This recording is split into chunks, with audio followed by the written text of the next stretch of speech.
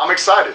You know, I, I, I want to go to the Olympics. I want to have a chance of winning gold. Um, I'm not really focusing on trials this time around as much as I'm focusing and, mentally preparing for the Olympic Games, um, which is a big difference from before. Last time I went to trials just kind of hoping to be in the final heat. This time it's going to be a lot different. It's, you know, expect to be in the final heat and hope to get to London. So that's kind of where I'm at. Well, I think the experience moving forward into, you know, definitely prelims and semis is going to help because to me, the past two trials, semifinals, has always been the most nerve wracking.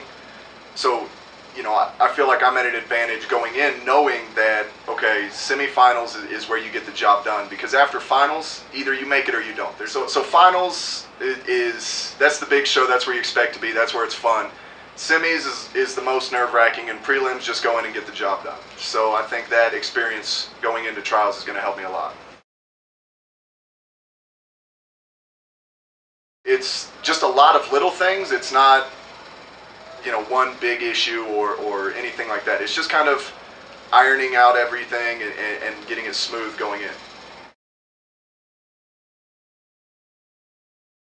I enjoy being in front of all the people. I enjoy the spectacle that's there. It's uh, it's cool to get to see swimming on such a big stage. You know, all the lights on you, all the cameras on you. It's just eight guys on the pool deck and then officials. You know, so I don't I don't feel like that's uh, a, you know play into it at all. You know, at the end of the day, it's still a race, down and back. That's the hundred. Um, just go out and do it as fast as you can.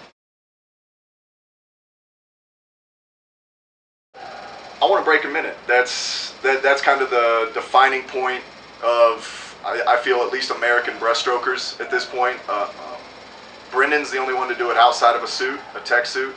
There were four of us who did it in a tech suit. Um, I want to be one of the guys that's done it without a tech suit. So I feel like it's going to take about a 58 to make the team, and that's what we're gunning for.